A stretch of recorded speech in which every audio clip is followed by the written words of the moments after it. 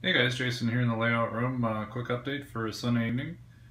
Uh, I posted a few photos uh, late last week. I picked up this uh, Walthers uh, Prairie Co-op green kit.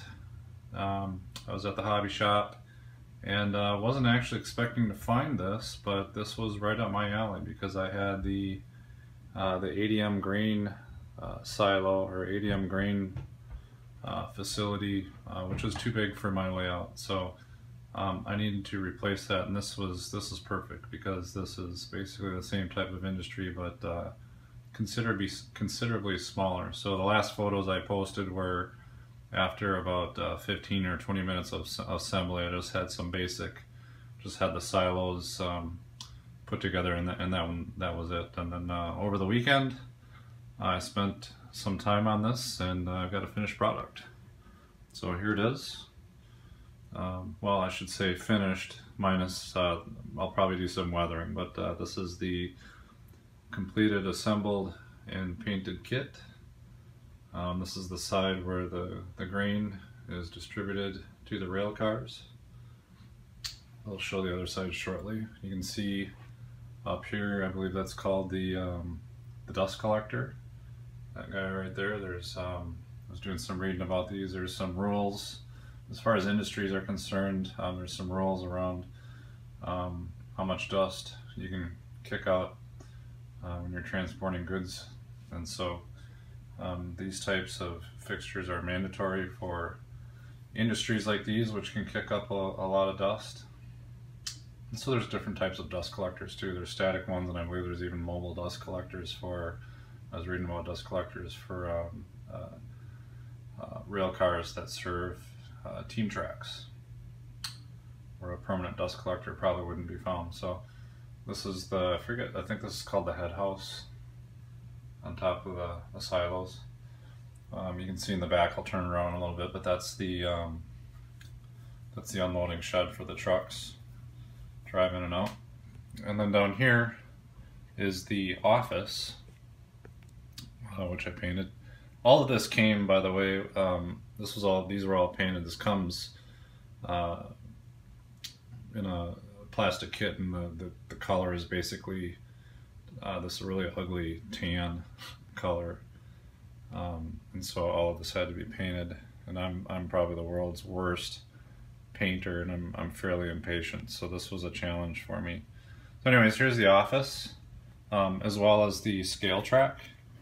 Scale track's a little dirty because I, I did some um, test weathering with my powders on there and uh, it was a complete train wreck, no pun intended. The uh, powders went on way too thick and so um, I ran this under the sink and with some vigorous scrubbing got most of the powder out. So, um, and this is precisely the reason why I started the weathering on this piece instead of weathering um, the silos themselves because this would be a lot harder to wash. So anyways, getting back to the office, uh, we've got, this is called the, uh, did some looking up on this too, it's called a sampling probe. So I don't know much about farming or the, uh, the grain industry, but um, on the box, you can see it's, it's painted yellow. And so I did a little bit of research, basically went to Google and looked at some pictures and images. And what I found is that you can pretty much, if you get this kit, um, paint this sampling probe any color under the rainbow you would like and it would be prototypical. Because um, there are all kinds of different colors of these sampling probes. And um, I'll pause here just for a few seconds because I'm going to throw up a few images um, during this video clip. And you can take a look at just kind of a sample of the different colors that, uh, that I found that were available on the internet. So I went ahead and I chose blue. Um, I did paint it two different colors. Um, the actual probe itself I painted silver. Uh, you don't have to do that again from the samples that I that I'm gonna show. I think what you'll see is um, it seems like in the majority of the cases the probe um, is actually the same color as the remainder of the equipment. So the probe can be all kinds of different colors too. It doesn't have to be silver, but I did find one uh, or two where the probe was actually silver and a different color. I just like I like the idea of having different contrasting colors um, for the probe. And uh, the kit itself uh, went together fairly easy. Just takes some you know time cutting the sprue, cutting the pieces out of the sprues and filing. Um, I probably did one of my better painting jobs, um, but I did everything was perfect up until when I went to start to paint the probe um, at the very end with some blue acrylic paint. And I did mask it all off with uh, frog tape but a little bit of the paint bled onto my structure base here. And so I tried to clean that up with some color matched acrylic paint and, and it just got worse. So um, what I did is I just kind of evenly painted around the, the base of the probe. I don't know, can, we can call that a concrete patch, but suffice to say it's got some character now. It's not perfect, um, but we'll live with it. Uh, if I turn this around the back, got some detailed parts here. Uh, we got some water uh, or some um, gutter uh, drain spouts coming down. Had to attach those and paint them. Actually did that in reverse order. Painted them first, then attached them. Uh, most of this, probably 99% of this kit, I spray painted, so um, which took some planning. Um, planning had to, to figure out, you know, what color I wanted to paint each each item because um, I painted most of these parts while they were still in the sprues because I found out spray painting really tiny detailed parts. Um, the spray paint, the, the velocity of the paint coming out in the can just blows the parts um, right off my painting platform and it, it's kind of difficult. So um, I painted things within the sprues and then I cut them out. We can also see an electrical meter on the back here too. I painted that silver. Hopefully that shows up good. Um, so again, I'll, I'll, probably weather these office doors so they're not so bright white. Um, and the base of this office is the same color as uh, paint, same paint as what I used for the, um, the weighing scale as well as the, um, what do you call this, the head house, tower head, I forget what that's called. Um, anyways, it's, it's, it's, a, it's a textured paint. It's supposed to look like cement. Um, I find it a little, as I was looking at it today, um, it's you could probably call it a little overscale if I was really aggressive and ambitious, I could probably sand this down and knock down some of the, the grain on there. You know, actually probably look a little bit more like uh, cement. Um, but I probably won't do that. Um, well, I'm going to call this good. All right, so now we can see the other side. Um, see the uh, the unloading shed a little bit better. Um, this has the option to put the garage door or the, the shed doors on there. I left them off for now because I do have uh, for my layout, layout, I've got diesel trucks, and I think I'll probably want to model trucks inside the shed or near the shed, so I'm going to leave the doors off for now. If I change my mind later, um, what I did is I did not glue the roof down, so the roof will come right off and give me easy access to putting the uh, the doors back in if I should so wish to to put those on there. But for now, you know, you can see I painted the um, the unloading shed floor. It's the same cement texture as the silos. I turned a little bit more. Um, as far as the kit, uh, these silos actually come in the form of um, like half tubes. Like if you cut a roll of toilet paper uh, or empty toilet paper roll in half um, vertically um, and, and cut the circumference in half basically. Um, it comes with those two sides, those two half tubes, and then there's these flat spaces on either side. So you glue or cement the tubes, the half tubes up against these flat pieces. And uh, that was fairly easy to do.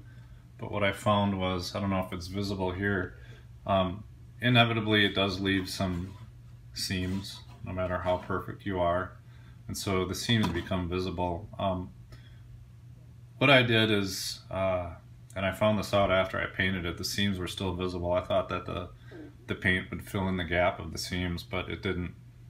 So what I did is um, I could see that that was not going to look the best. And so I sanded the seams down a little bit. And what I had on hand was I had some wood putty or wood filler putty on top of that. And um, I basically just used it like spackle, took a putty knife and just put lightly put a little bit amount, a little bit goes a long way, and just filled the gaps. And um, it dries real quick and then I sanded it down a little bit so it was smooth and then I repainted it. And uh, you can you can barely see the joints here, but I think that looks pretty good. Might be a little bit more noticeable, um, you know, depending on the light. So here we, lighting is, is actually casting a shadow on the back, so you can see it a little more, but um, that's good enough for me. And same with the other side. I actually had a big mess on this side. I had I had painted it, um, and and then I smudged it with my finger which I was really mad about. And so I tried scraping it off, and the more I tried to fix it, the bigger mess that I made. So I just kind of scraped this whole side, sanded it, and then repainted it. Um, I did use a couple of coats. This textured paint um, comes out pretty fast and pretty thick. So what I found is early on, it, when I sprayed close, I mean, it, it really sprays a pool of paint onto the building and it's so thick and it just starts to almost, it looks like it's going to drool a little bit. And um, I found it was, you know, a better technique is to, you know, get back about this far, you know, at least a foot and spray. So you're blasting it with, with pigment and you're blasting it with texture. Um, you're not going to be able to get it all in one coat, but I think that's kind of the the best way to do this if you're using that that that paint. And the, the paint is um, Rust-Oleum textured paint, and I think the color is uh, like coral Caribbean sand. I think is what it's called. And um, so stand back a little ways, spray it. It won't smudge up, um, and then do multiple coats, two or three coats. It goes it goes fast, and um, but I ended up using more than one can of paint of that uh, that paint for this. I probably didn't need to if I didn't hadn't smudged it and hadn't had to do touch-ups. I probably could have done all of this with a single can of paint. But and also I did the head house again. I think that's called is is the same. It's made out of cement. And also there was there was some cracks in these seams here in the corners too where they didn't come together tightly and so I used the same uh, wood putty technique to get get these cracks, sanded them, and then repainted. So I think it turned out pretty good considering I am not a very good modeler um, and I'm definitely not, admittedly not a, a good painter at all. Um, but I used some frog tape and again mostly spray paint for this. At the very end I, I picked up some acrylic paint and I had some enamel paint and I painted the crane um, did a little touch up on the on the on the on the brickwork here. Um, the roof brown again with spray paint. Uh, the gutter uh, the gutter spouts, drain spouts are were spray paint. So I ended up picking. I went to uh, the big box store and I picked up about five different um, colors of spray paint. Um, several of them were, I think, primer and paint built into one. So that's what the gray is. That's what the I believe the white is. Um, and possibly the brown. So um, I think it turned out well. You can see how the how it looks with trains going under there. Not a lot of clearance there. But um, so this is gonna allow me to use a lot of, well not a lot, but it'll allow me to use my grain cars on my lot, which are my favorite type of car, covered hoppers. Um, I've got a pretty good mix of for covered hoppers a mix between um, grain hoppers and plastic pellet hoppers, which I admittedly sounds stupid, but I kind of just learned the difference not too long ago. So um, I think I would like, now I know all the grain hoppers can, can go to this industry. Um, I'd still like to have a use for all my plastic pellet covered hoppers, and so I'm probably going to look for uh, a plastic pellet industry. And um, I'll throw up a couple of pictures here at the very end of this video. That a couple of pictures that I took today. My son and I went to the hobby shop in my old neighborhood in Bloomington, Minnesota. and um, there's some rail action there uh, from a short line called Progressive Rail, and um, they have a lot of covered hoppers there serving um, plastic pellet industries. So I, I, drove I drove to the industries today um, where they had the car spot, and I took a few pictures, and so I'll share those pictures um, of what those kind of industries look like. And it's kind of interesting because they're all tightly packed in a city landscape, and so it looks like the trains are driving, you know, the cars are being delivered in a back alleyway, and they're being spotted in an alley, um, and they're being, um, you know, emptied, vacuumed out. The plastic pellets are being vacuumed out into a series of of tubes and hoses, and they end up in the factory. So uh, that is it. Uh, I'm gonna go ahead and sign off and upload this to YouTube. I hope hope you enjoyed. Uh, my next kit, next kit that I'm gonna be looking for is um, Medusa cement um, because I would like to. I think we're gonna put Medusa cement up in this uh, tight corner back here. That's what this cutout is for. Medusa cement is seven by nine, so I think that'll fit there. And then um, I'm also going to be looking for that plastic pellet industry. And then, uh, where is it? Oh, last but not least, um, I bought this guy pre-built and pre-weathered off eBay.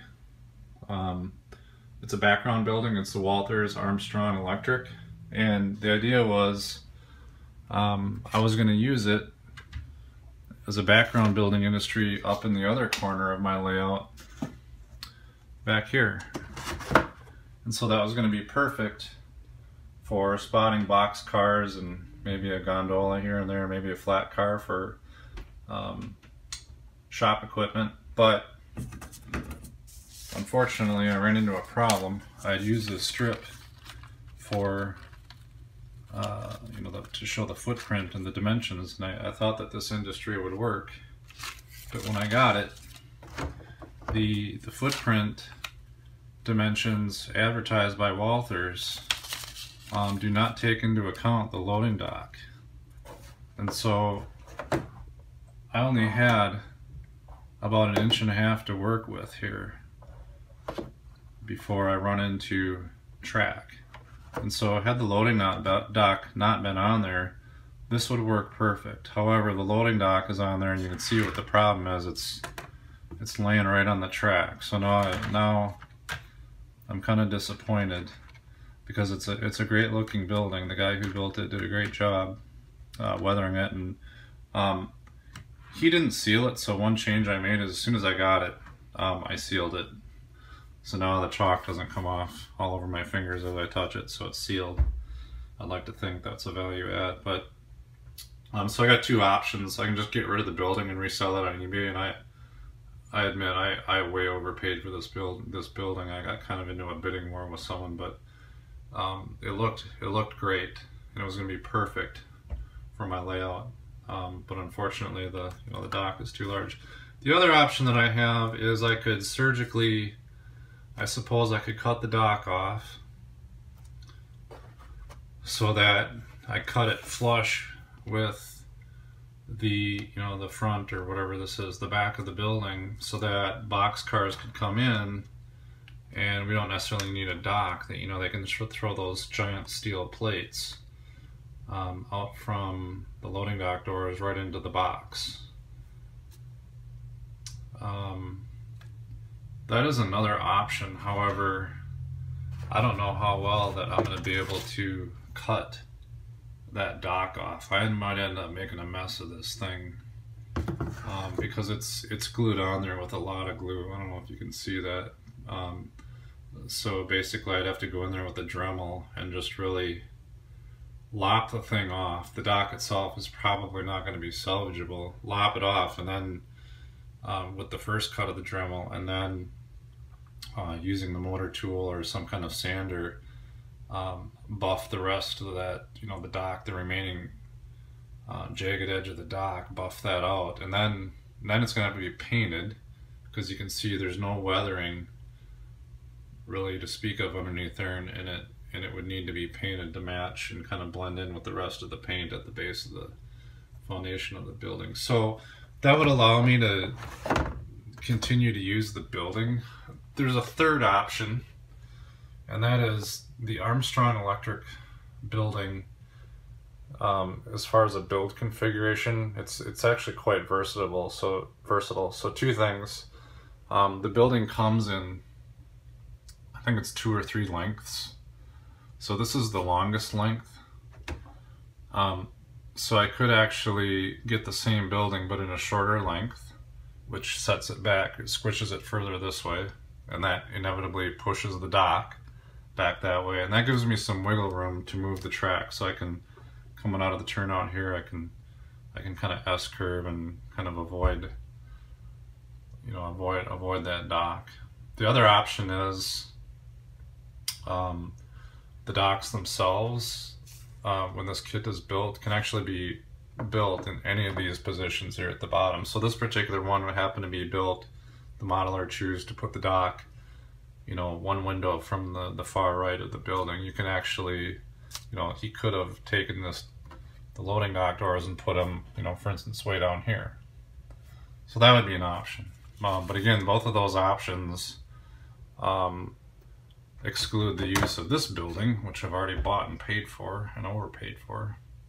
And so that means I'd have to sell this building. So uh, it's a solvable problem. I just got to figure out which way I want to go. And so maybe uh, folks watching this video, maybe you got some suggestions. In theory, coming out of this turnout, I can, you know, I'm, I'm using, is this the flex track? No. Um, in theory, I could use flex track make a sharp left coming out of the turnout and then kind of make a right and I could I could avoid the dock but that's gonna create an S curve right here it's gonna be tight I think it's just gonna be stupid I think it's the wrong solution I think it's the right building um, it's just not the right configuration because I definitely like the building so I'll be thinking about that this week. Figure out what I want to do. Assuming I'm going to put Armstrong Electric up here. I'm also kicking around an idea of maybe it's not Armstrong Electric. Maybe it's a team track up there. I don't really like this idea. Or maybe it's, you know, a lumber mill up there so the industry kind of goes on this side and we just, you know, scene, put some scenery over here. Um, so I, I don't know. I I really I really like this building. This is what I would have really had my heart set on. So we'll figure it out. Thanks for watching. Take care.